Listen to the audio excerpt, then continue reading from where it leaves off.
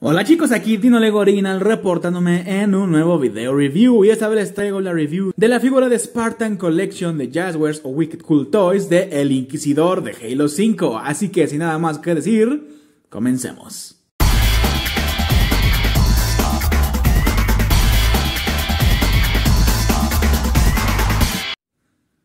Muy bien, el día de hoy nos acompaña no uno, sino dos figuras como invitadas y estas fueron elegidas por el, Gamer 44 2.0. No lo dijo explícitamente que fueran las invitadas, pero dijo que salieran y yo lo tomé como que fueran las invitadas. En fin, si quieren ver alguna figura de invitado en, la en el próximo video, en la próxima review, pues dejen su comentario y si eres el primero se te dará prioridad y todo ese show. Entonces, bueno, sí, aquí está este, Jorge y Kat, eh, parte del equipo Noble, acompañándonos a la review de El Inquisidor.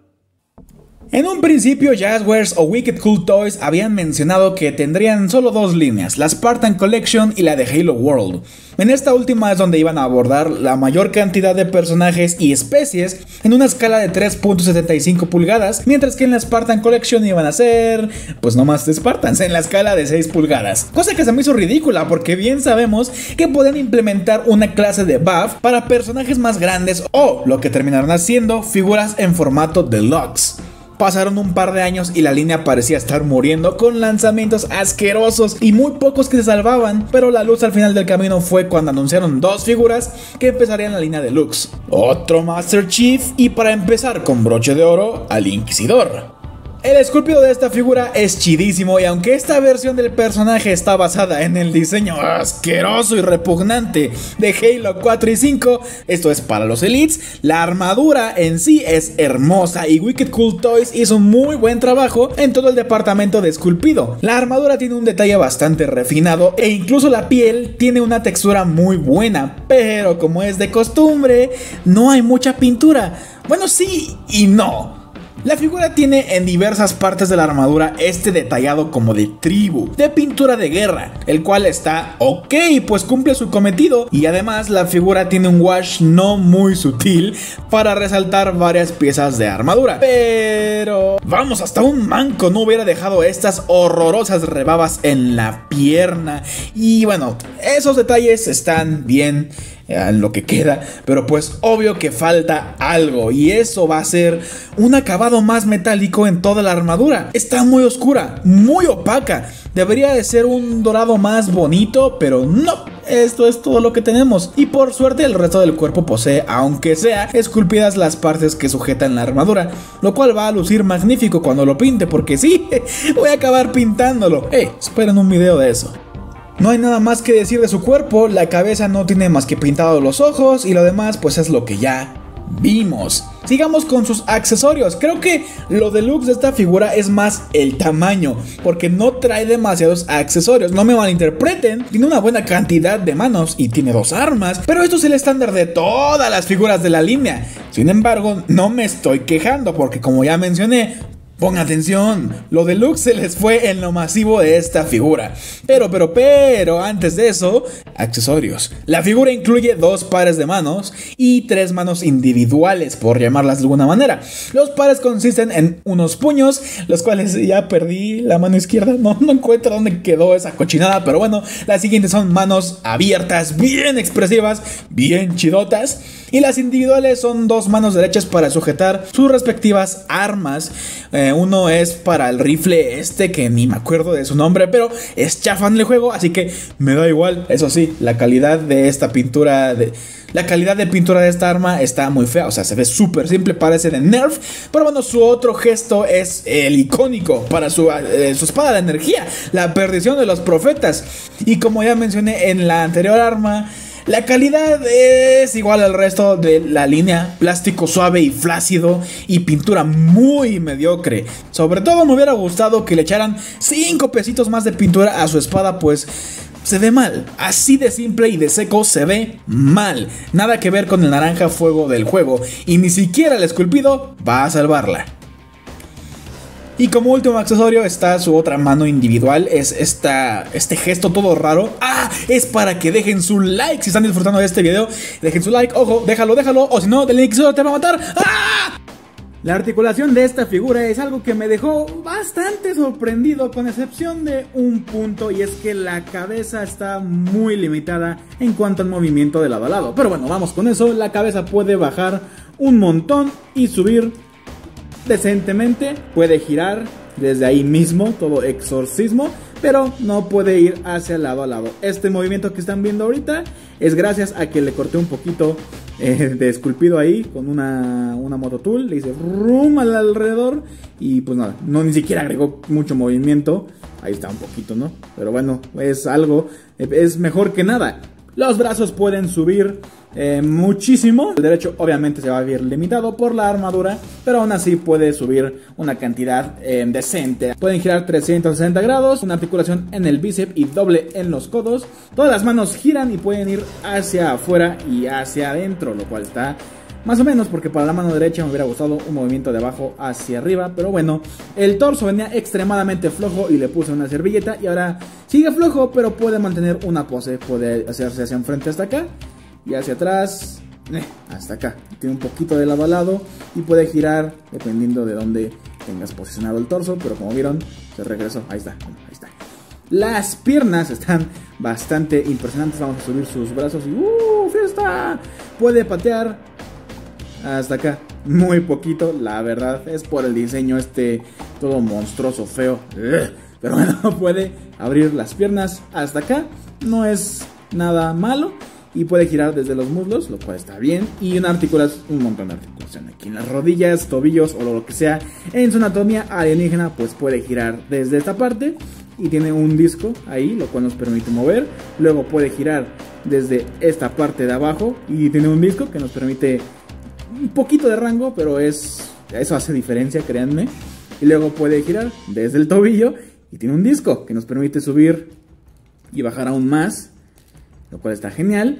Entonces sí, mucha rotación en las piernas, pero además de eso tiene articulación en la punta de sus dedos, de los pies, de las mm, patas de Elite. Y la cual no es tan útil, la verdad yo no le veo mucho uso a esta articulación porque además le quita estabilidad debido al diseño feísimo, horrible de los Elites y ya se cayó Jorge. Pero bueno, eh, sí, debido al diseño pues no va a ser muy útil eh, esta articulación de tobillo, pero ahí, de tobillo, perdón, de los puntas de los pies, pero ahí le puedes dar un uso y en general está bien articulado. Las limitaciones serán más que nada gracias al diseño, ¿verdad? Pues por el torso todo raro y todo. En fin, de eso luego hablamos. Uh, es aquí donde más estoy emocionado. No solo el Inquisidor es mi personaje favorito de Halo, pero la única otra figura buena, entre comillas, de este era la de Mattel, al menos en la escala de 6 pulgadas. y esta figura que dije de Mattel, desafortunadamente... No la tengo en mis manos en estos momentos. Ahí les dejo una foto de cómo está, pero nada que ver. O sea, esa cosa era chaparra y tenía un esculpido y pintura muy... Y ahora esto, ¡pum! Miren nomás. ¿Qué pasó? Eh? Una figura casi de cada línea, relativamente famosa. Ya veremos más, no se preocupen. Molde Bucky Cap, Mafex Spider-Man, su propia línea de Spartan Collection y SH Figuarts. Ustedes díganme, yo, wow, sí que me encanta el tamaño que le dieron. Tenía un poco de miedo de que no sería el tamaño apropiado, pero me cayeron toda la bocota, ¿eh? Estoy súper contento con la escala, pero obvio no los vas a tener con estos personajes, o quién sabe. Pero para algo que hace más sentido, aquí está con Master Chief de Spartan Collection y la de 1000 Toys. Claramente se ve un poco mejor, pues con la de Jazzwares, es la misma línea. Ay, neta que se pasan, ¿eh? Pero no me molesta en absoluto la diferencia de tamaño que tiene con la Sentinel. Sobre todo porque me recuerda a este póster de aquí, que por cierto es muy, muy de mi infancia. Entonces estoy siendo muy subjetivo, claramente, pero ahí sí se ve más igual Inquisidor. Entonces, sí, genial, genial. Aquí está con el Alpha Predator de NECA y con el Boba Fett de Black Series. Y como no, otro personaje mítico, legendario que lleva la voz de Kid David. Tremenda dupla y tremendos personajes y tremenda interpretación del señor.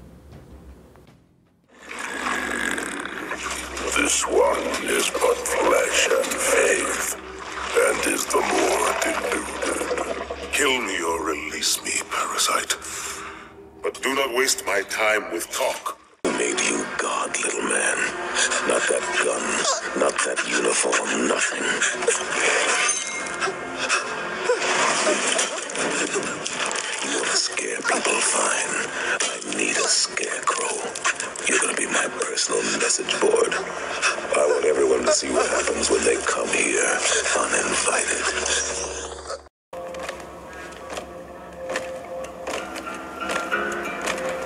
Spartan Jameson Locke, UNSC.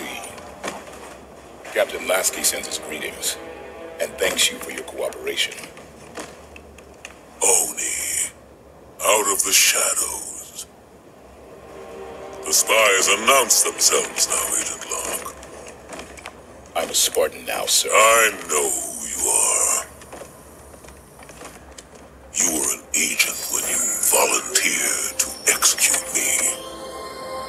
I saved your life today. Yet now you hunt another Spartan, the greatest of your clan. Any idea who I am? Some kind of Japanese luchador? I'm the ghost that goes bang in the night, punk. Aquí está con los invitados del video, Kat y Jorge de Spartan Collection. Jorge, yo pensé que iba a merecer el tratamiento de Deluxe, pero no, miren, no estaba tan alto como yo creí. Y ahí puse de colados al Master Chief y al Master Chief. Entonces ahí está la escala entre todos estos Spartans. Se ven bien, se ven bien y me emociona ver qué van a hacer con la línea Deluxe. Por último, aquí se encuentra con el Inquisidor de Mega Constructs, el más nuevo. Luego está con Mr. Chief y con Godzilla. Ok, pues en definitiva me encantó esta figura, aún con lo malo que tiene. Si son fans de la franquicia, se los recomiendo muchísimo. Más si tienen algún Master Chief, pues para que hagan dúo, ¿no? No duden que vayan a sacar la versión más clásica después, pero de momento, eh, esta va a servir. Ya tal vez le dé unos retoques de pintura después, como dije. Pero en fin, si llegaste al final de la review, muchas gracias primero que nada. Pero aparte de eso, deja un comentario que diga cara de calamar. Y no olvides suscribirte y dejar si disfrutaste del video, un like. También te recuerdo que ahí abajo está mi página de Facebook por si quieres darte una vuelta. Y pues nada, gracias por ver el video y yo soy Tino Leborina, reportándome y diciendo cambio y fuera.